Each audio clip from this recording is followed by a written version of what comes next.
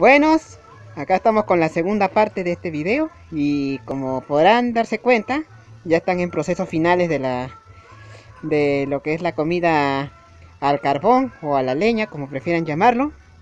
Y aquí estamos con mi señora madre, doña Emilia Blas.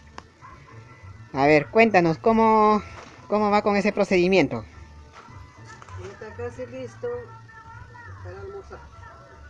Bueno, ya había avanzado unas cuantas y ya mayormente como cuántos minutos de cocción más tenemos que esperar para tener listo. De acá unos 10 minutitos y es hora de almorzar. Bueno, pues esperemos que todo salga bien.